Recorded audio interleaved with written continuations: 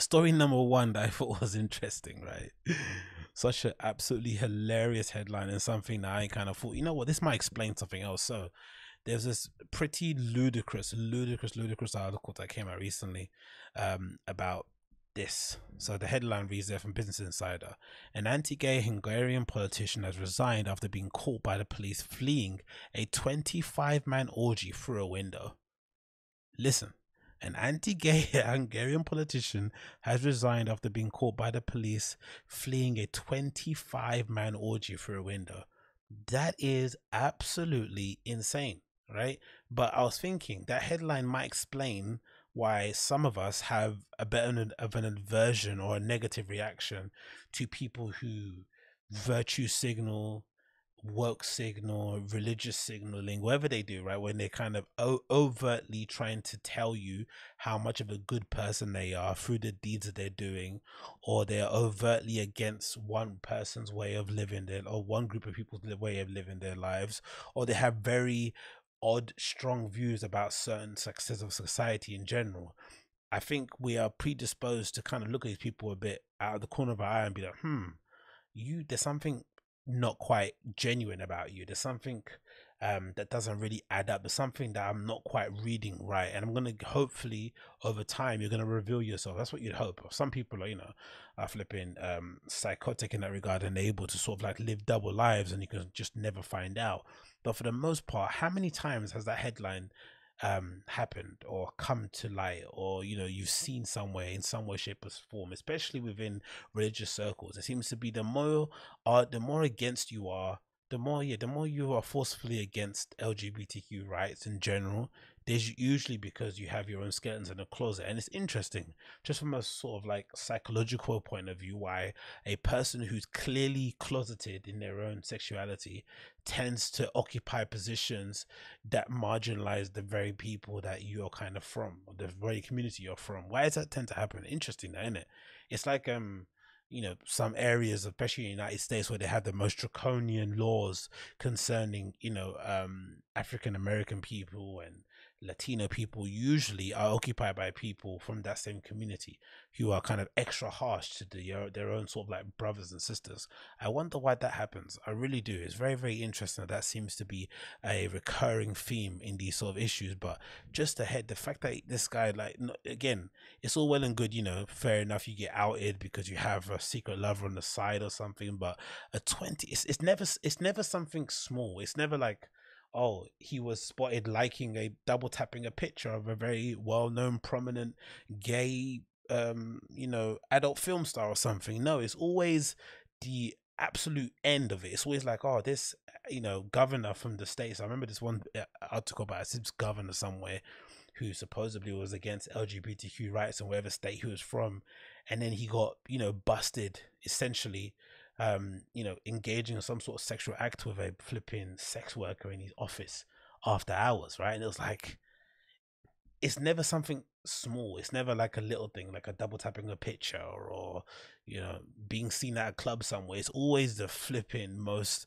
agree. It's always the most like extreme version of that lifestyle that they're doing. And usually that probably has to do with the fact that you're kind of suppressing it for so long, isn't it? There's only so much like there's only so much of your app's actual identity that you can actually hide um day to day until it kind of just overloads and bursts out. Do you know I mean? In in no in no pun intended that regard. But God almighty man, what an absolutely hilarious and also quite disheartening story considering because I'm um, you know, imagine if he's got a family at home having to discover all this. But hey, what can you do?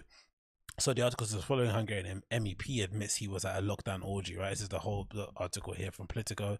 It says the following a senior MEP member of parliament, I'm assuming, and Hungary's ruling uh, Fidesz party admitted Tuesday that he took part in a lockdown party, quote unquote, described by local media as an orgy that was broken up by the Brussels police.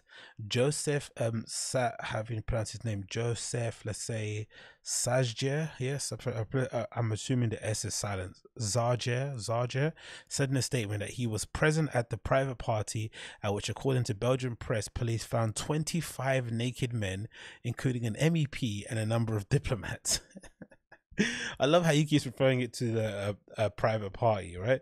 According to the press release from, well, I guess it was, but he's trying to just make it sound as if like, you know, there was old d'oeuvres and a couple of flutes, you know, being passed around. When in fact, it was loads of flipping ripped up naked gay men, you know, probably having the time of their lives in a really swanky apartment somewhere in the middle of Brussels. Just imagine what that apartment must have looked like in Brussels. Just imagine.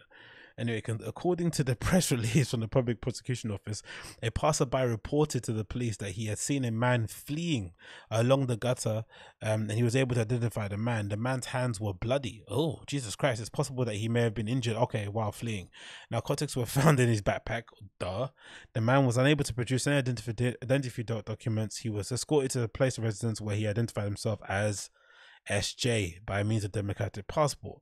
Um, said police gave him an official verbal warning and took him home. He said he had not taken drugs and added that he was sorry and that he deeply regretted breaking COVID restrictions. You get caught at a gay orgy in Brussels, and the first thing you're worried about is the drug taking. Now, again, it makes sense because he's from Hungary, right? And if you know anything about the, you know, the LGBTQ rights in Hungary, you know, they're not the best. So uh, I'll assume the quite puritanical, overly conservative Christian um you know lifestyle or christian you know way of living that they have there in hungary probably doesn't necessarily lend itself that well to excuses of taking drugs with you know naked men all over the place. And recently i think they passed a really crazy law where they basically put into um, legislation that only heterosexual couples in hungary are able to adopt kids which essentially rules out um, gay couples or people from the lgbtq community from adopting children. It also recognizes that uh, parents can only be male and female now like loads of really um um clever uses of wording and stuff to kind of essentially um, segregate and sort of push out one segment of your community or, or of your population because you don't agree with their way of life or with their sexual orientation, which is, you know, disgusting and deplorable to say the least. So you can understand why he'd be very concerned with making sure everyone knows that, hey, I wasn't there or no, it's making sure everyone's saying he's sorry for being at the par- at a private party. He's still not admitting what he was doing there, and also he's very worried about the drugs aspect of it. But you know, we will we would assume a twenty five man party in a in a lofty in a swanky apartment somewhere in the middle of Brussels is definitely going to involve some substances, right? Maybe all of them, maybe all. He says he was it was irresponsible on my part, and I'm ready to stand for the fine that occurs. Fine, he says. You know, you, you got you know got a job, mate. Fine. The Hungarian, a long-serving member of the Prime Minister's Viktor Orban's party, resigned as an MEP on Sunday. He said in a statement Tuesday that his misstep misstep was strictly personal and added, I see, ask everyone not to extend it to my homeland or to my political community. Oh, also, I guess he went okay because so he went to another country. He said, "Look, don't. It doesn't matter. I, am I'm, I'm assuming Belgium doesn't have that much of an issue with it. Hence why he got off with a warning. Imagine if he would have got caught at a gay orgy in Hungary. God Almighty. An official close to the investigation said officers were um, called after a legal complaint for nighttime disturbances were lodged about a lockdown party in an apartment on Friday night in the centre of Brussels. Belgium announced a second lockdown last month with a curfew in place and gatherings of more than four people not allowed. I want. It's always interesting, isn't it, that to me that in a more the more I think we've seen it with Rita Ora recently. The more affluent area you're in, the more likely you're, you're, you're, you the more likely it is that you're going to get fobbed in by your neighbors really, in it, which is weird considering that you would assume most people who have means to flout the rules would flout the rules, which they obviously are doing in these COVID times. But they're also very likely to call the police and let them know, hey, my neighbor's having a party, blah blah blah. But in the let's say more uh, rundown communities or places that are sort of you know um stricken by poverty. They don't seem to really give a shit. Everyone minds their business you know. If you're having your party have your party. I'm, i don't give a shit. Just don't come into my house asking for a glass of water do you know what i mean? Um and he continues here. Belgium announced a second lockdown da, da, uh, Sajja is a member of the Fidesz who helped uh, craft the country's constitution. He served as the head of the Fidesz delegation in the European Parliament um, and is a member of the Assembly of Foreign Affairs. The Hungarian government has cracked down on LGBTQ rights and last week, along with Poland, voiced strong opposition to a gender equality plan from the EU foreign policy that seeks to better bolster sorry women's and girls LGBTQ rights worldwide by challenging gender norms and stereotypes. In a statement, the Fidesz delegation in the European Parliament said that Sajja had made a right decision when he resigned. He said he made the only right decision. He acknowledged his decision, just as we acknowledge that he has apologized to his family, his political community, and to the vote. So he does have a family. Jesus, yeah, that's what that, that's when it's not really that funny in it. When obviously there's a huge part of himself, or I'd guess part of his identity that he's having to sort of suppress, in a country that doesn't probably allow him to live freely and of course um inadvertently he's hurt hurting not only his fellow countrymen and people that you know working his party that he's sort of you know embarrassing in public but also most importantly or more importantly his family and his children and whatever it may be or extended family we're having to sort of like find out the deepest darkest secrets of somebody you hold in high regard in the press this way. And it's never never it's never a good situation which is why really you know you should be trying to live your best life as much as possible because hey we have a very short time on this earth. The last thing you should be doing is running around hiding in mansions in Brussels somewhere. Um, you should be, you know, embracing exactly who you are and fighting for the people that, and fighting for the very same people that you're kind of trying to imp- oppress. But hey, I guess we all can't be perfect individuals.